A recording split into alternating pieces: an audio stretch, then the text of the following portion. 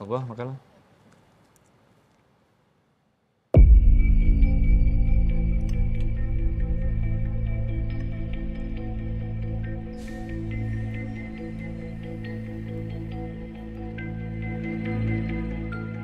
Assalamualaikum Dr. Umar. Waalaikumsalam. Dinner is on me. Enjoy. Awak tahu tak? Zairah tu layan saya macam maid tahu dekat rumah. Semua benda saya yang buat. Saya yang kemas rumah, saya yang basuh pinggan, basuh baju. Semua benda lah. Kalau kena basuh baju rumah je tak apa. Saya faham. Itu memang tanggungjawab saya kan?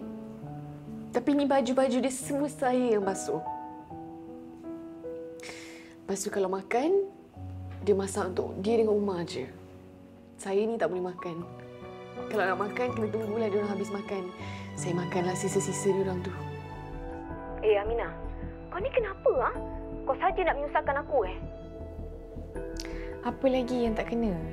Awak bukan suka ke kalau saya tak ada kat rumah tu? Hmm? Senang kerja awak kan?